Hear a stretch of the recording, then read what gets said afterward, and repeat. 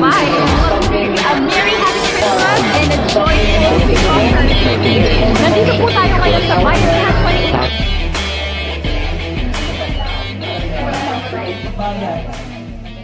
Ipinakilala sa pangatlong pagkakataon ang mga opisyales at mga bagong miyembro ng Humanitarian Filipino Group or HPG. Pinag-usapan sa pulong na ito ang mga upcoming events at kung paano makakatulong sa ating mga kababayan, kabarangay at kapwa Pilipino. Ngunit ano nga ba ang layunin ng HPG? At ano ang vision at mission ng grupo? Okay, ah sino po yung ating mga bumubuo ng ating ah, officers sa HPG Command Taguig? Ang mission ng HPG ah, makatulong sa mga kapuspalad nating kababaryo na maaring makaigpaw kahit isang araw na makatulong sa kanila o para makaraos sa kanilang isang araw na kailangan nila ng tulong. Ang vision naman namin, ah, maipasa ang aming kabutihan o ang pagbibigay tulong sa ating mga kapwa-tao na maibibigay din sa ibang tao para maipasa ang magandang ah, gawain o magandang simulain sa ating pinamumunuan o sa ating komunidad. Nagsimula ang HPG sa Hong Kong 2019. Ah, Hong Kong base. So ito ay pinamumunuan ni M. Soriano. Ah, ang kaniyang co-founder si ah, Sir Bijan Labra.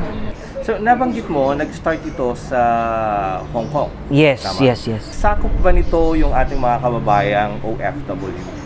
Kung ano man ang mga project ng HPG? Actually, ang HPG talaga priority po ang mga ang mga OFW lalo na po yung nasa Hong Kong.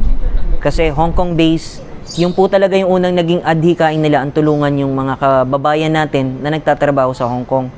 Kasi may mga incident na nangyayari na sila ay nagiging biktima ng karahasan o pinalalayas ng kanilang mga employer or ng amo na merong community Filipino group na nagkukupkop at tumutulong sa kanila which is eto nga po yon yung HPG Hong Kong.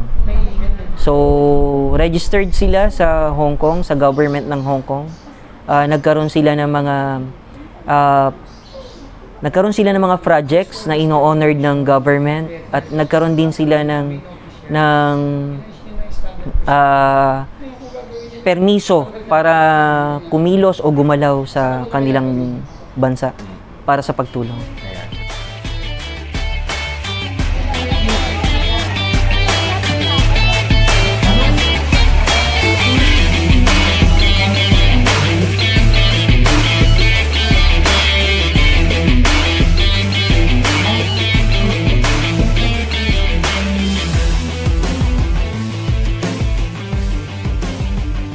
Pagkakaalam ko ng trabaho ng HPG is humanitarian Filipino group, no?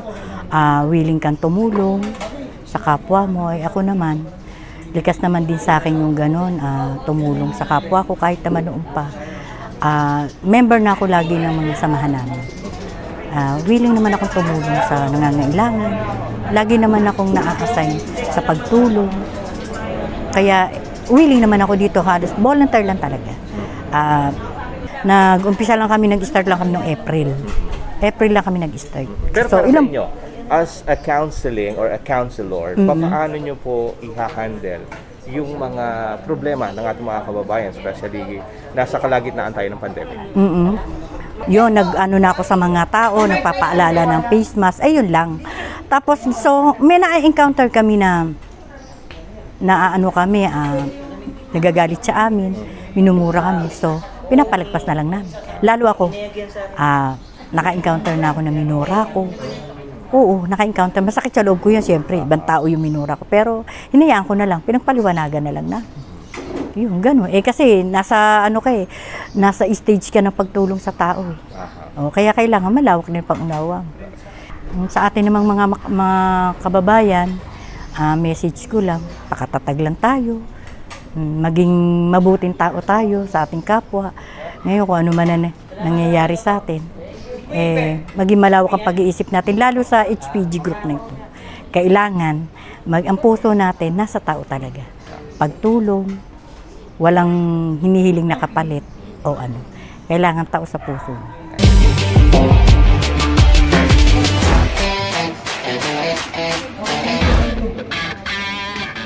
Ako po si Kagawa Dave Landrito ng Barangay Kalsada at ah, tumatayo ako po ako bilang isang advisor ng HPG na sa ikli ng pagsasama namin ng grupo na ito, nakita ko yung yung magandang adhikain nila para sa mga mamamayan ng kalsada at sa ibang karating na barangay. So, makikita natin yung concern nila sa tao, lalo-lalo na yung mga nangangailangan, na naging biktima ng ah, kalamidad, biktima ng mga pandemya. So nakikita natin talaga yung puspusan nilang pagtulong sa tao, which is napakaganda at ah, naniniwala ako na ang tuloy-tuloy nilang adika, pag pinagpatuloy nilang adika ito, mas marami pa silang matutulungan at ah, mapapaligaya dahil sa ngayong mahirap ang buhay at ang mga NGO na ganito na ang ang iniisip ay makatulong, eh dapat sinusuportahan ng, ng lahat na pwedeng may kakayahang makatulong. So, na inuulit ko, suportahan natin ng HPG sapagkat napakaganda ng kanilang layunin para sa mamamayan. Maraming maraming salamat po.